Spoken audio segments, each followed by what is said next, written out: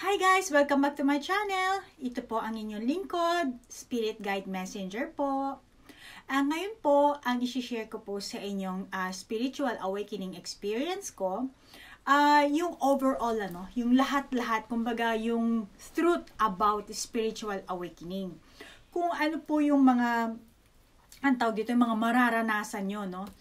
So, sa akin po kasi, ano, Uh, kaya ako na-label po ang sarili ko na ako ay isa ng spiritual awakening. Uh, dahil po sa lahat-lahat ng naranasan ko sa etong since nung 2017 po ano uh, sa lahat-lahat ng naranasan ko so every step na meron ako nagiging experience na which is ignorante nga po ako at ang spirit guide ko po ang nag assist sa akin. Tapos nauwi po ako sa research hanggang sa nalaman ko po na ako pala ay spiritual awakening na. So yun po ang naging uh, uh, ang tawag po dito, uh, naging kinalabasan ng lahat-lahat ano kung ano nangyayari sa akin. Kasi nga nung una hindi ko nga alam ano. So, eto po yung um, listahan ano, listahan ng uh, kumbaga since 2017, yung mga nangyari sa akin, ayan, nilagay ko po dito sa sa gilid para makita niyo po ano. So, yan po ano, so nagsimula po ako sa third eye. Nag-open po yung third eye ko noong year 2017 which is before pa pala open na yung third eye ko na wala akong alam kung hindi pa nagpakita sa akin yung ahas, hindi ko talaga mamamalayan na open talaga yung third eye ko. Tapos hindi ko pa mal- malalaman kung hindi sila nagbigay sa akin ng sign na yung para mauwi ba ako sa mag- mag-research sa internet. So marami po silang binibigay sa akin na sign. Kaya po, uh, later on, nalaman ko na spiritual awakening ako, no?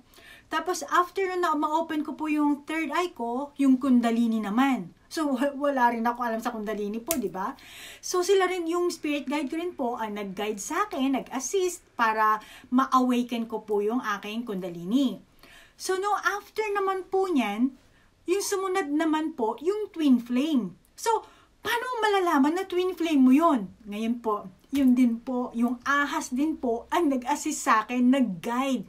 Then yung spirit guide ko po, yung mga guardian angel ko po, nagbibigay sila sa akin ng sign. Then, ang kinabagsakan po, ginagawa ko, nagre-research na po ako sa internet. Tapos one time, nakita ko na lang po yung twin flame. Hindi soulmate, twin flame yung words na nakita ko. So, lahat sila po ang nag-assist sa akin. Kaya, yan po yung mga lista, no?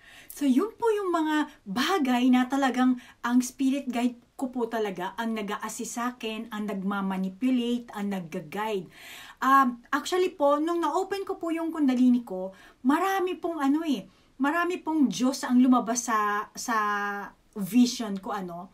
So mamaya explain ko sa inyo yan ano.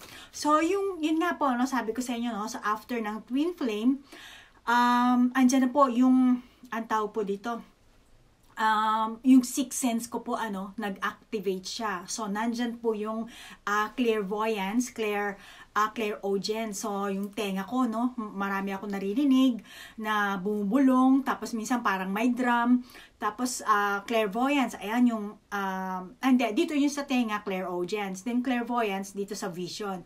So marami po ako nakikitang vision, parang may TV ano, dito sa noo ko. Marami ako nakikita dyan dahil yung twin flame ko rin po ang nag-trig sa akin yan. Ano? So parang meron kaming ano talaga, may, may ah, hindi ko lang ma-explain ano, pero parang meron po talaga kaming strong bonding na hindi pa kami nag-uusap, pero parang meron talagang, uh, yun, alam pa, ano ba, parang may electricity. So, dahil sa tulong niya, dahil sa nakilala ko siya, na naging, nag-enhance po yung aking uh, psychic ability, ano. Pero dahil sa nag, nag uh, na ano tayo sa quarantine, hindi na kami nakikita, so medyo lumalabo na po yung aking vision. Tapos yung susunod naman po, ito isa pa po, uh, astral projection. Uh, wala rin po ako wala rin po akong alam sa astral projection. Ang aking guide din po ang uh, nag-assist po sa akin. Ang naging trigger naman po diyan at natutulog ako, um, bali yung higaan ko po para siyang ano, para siyang wave. Ah, uh, masasabi kong wave kasi alam niyo po yung anaconda? Malaking ahas yun, di ba?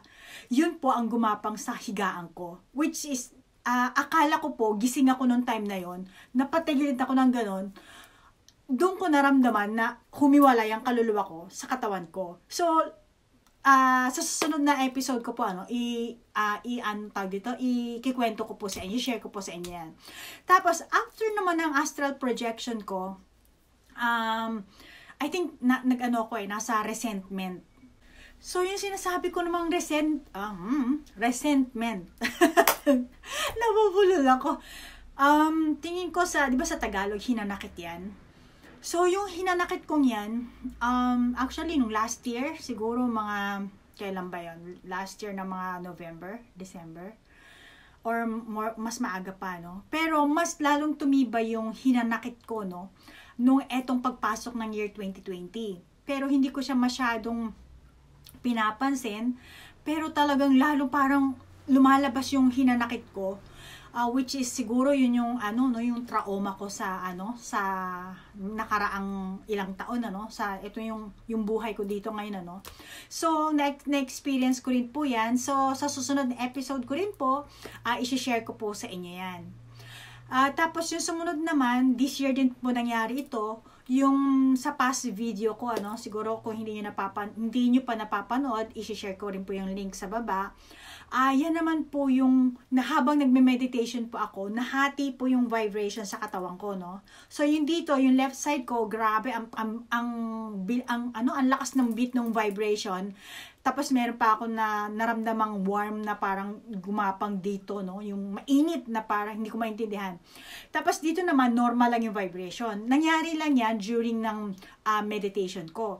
Then, uh, inano ko siya, ni-research ko dahil sabi ng spirit guide, spirit guide ko, i-research ko siya. So, bumagsak po ako sa words na ano, balance, portalization, which is yin and yang. Sa next episode din po, uh, i-explain ko rin po, i-share ko rin po sa inyo yung pinaka more specific plus yung aking experience. Then, yung yung last na po na na-experience ko, uh, which is eto nga no, nag-start na ako sa inyo mag mag uh, mag-share ng experience ko dito sa YouTube. Gumawa ako ng YouTube channel ko. Yun po ay ang aking soul for purpose, purpose. yung aking soul purpose, yung uh, uh, divine soul mission ko po no dito sa mundong ito dito sa life lifetime kong ito no. So yun ang pinaka kinabagsakan ko. Sa sa since nung 2017 na nag-open yung third eye ko so 2018 19 at 2020 na tayo ngayon.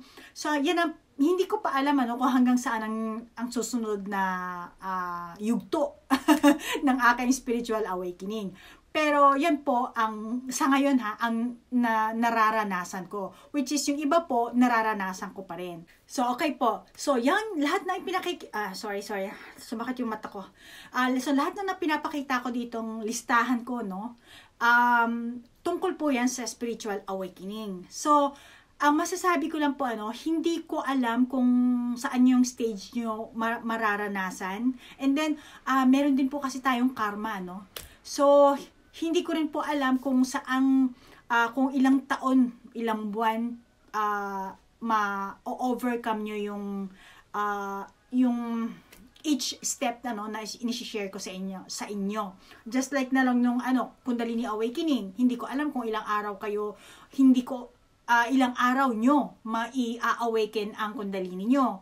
And then yung twin flame hindi ko rin alam kung kailan nyo makakita or kung meron talaga kayong sign uh, sa tingin ko naman kanya kanya tayong experience, 'di ba? Everything is different nga eh. So ako, meron sa akin nag-guide kaya nagkakaroon ako ng idea no kung ano kung sino, kung ano 'yon. And then So, may kanya-kanya po tayo kung, kung kailan nyo rin ma-i-experience ma ma-i-experience yung astral projection at kung magfo-focus din kayo doon kung gusto niyo, 'di ba? So, kanya-kanya po tayong um, mag, magka, um, magiging magkakaroon ha, ano ba yan? magkakaroon tayo ng kanya-kanyang karanasan. So, yun, yun po gusto kong ma, maiparating sa inyo, mai-deliver. Ah, nako, yung, yung, alam nyo po kasi, kaya ako nabubulol, kasi kayo lang po ang nakakausap ko ng Tagalog. Pag sa trabaho, English.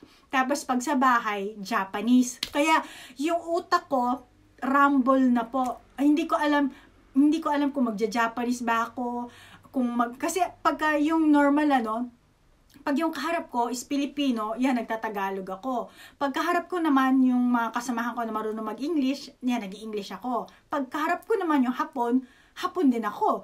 Yung Japanese, yung Hapon, I mean, Japanese language yung ginagamit ko. Eh ngayon, hindi ko po kayo kaharap. Camera lang ang kaharap ko. Kaya, nagugulahan ako parang yung, yung dila ko eh, nag, nagka, nagkakabalik ba ano na. Pero, okay, balik po tayo sa aking topic So, yan po yung mga, ilan ba siya? 8? 8 ba yan? 8 ba yan? So, andyan yung third eye, kundalini, uh, twin flame, tapos astral projection, tapos uh, yung mga sixth sense, and then resentment, yung uh, balancing, yin, yin and yang, and then yung soul purpose. Okay, so paalala lang po ha, lahat po yung sinasabi ko sa inyo is based po sa aking experience na talagang uh, naranasan ko po yan and then dahil po ignorante po ako, uh, siguro kung i-compare po sa inyo, kayo marami po kayong nare-research. Ako naman kasi, uh, nauna na yung experience bago yung research. So, talagang nag uh, ano no nagfi-freak out yung utak ko ano hindi ako nakakaano nakakahabol pero panayang panayang dating ng mga uh, sari-sari ano bawa yung third eye ka-ano ko pala, ng, kare-research ko pala ng third eye, andyan na yung kundalini. Po, so, ang, ang gulo eh. Tapos pagkatas ng kundalini, kare-research ko pala, andyan na yung twin flame. So, sunod-sunod yung patong-patong na yung ano, kaya medyo, ah, uh, ang tawag dito, nag-freak out talaga yung utak ko. So, ganyan po ang mangyayari sa inyo. Once na na-open nyo na po yung kundalini nyo, sunod-sunod na yung mga pangyayari mangyayari sa inyo. Kaya kailangan, uh, yung utak nyo po, bilisan nyo yung cycle ng utak nyo para pa-catch up nyo. Or, yung kundalini nyo, uh, huwag nyong i-awaken, ibang method po, awakening method ang gamitin nyo para unti-unti yung inyong uh, progress, ano, Okay? So hanggang dito na lang po ang aking uh, experience na may share sa inyo. Uh, maraming maraming salamat po sa oras na inilaan nyo po sa aking video at abangan nyo po yung iba pang mga naging experience ko sa spiritual awakening ko. At uh, masasabi ko lang, uh, hindi ko pa alam kung kailan nyo po mararanasan ang yung mga naranasan ko po ano. At lahat ng sinasabi ko po, based po talaga yan sa aking uh, experience. Na sana meron po kayong napulot, uh, meron naka-resonate po kayo sa mga uh, sinasabi ko. Okay? Maraming salamat po. Namaste. Huwag niyo po kalimutan mag-like and share ha. Subscribe po kayo. Bye-bye.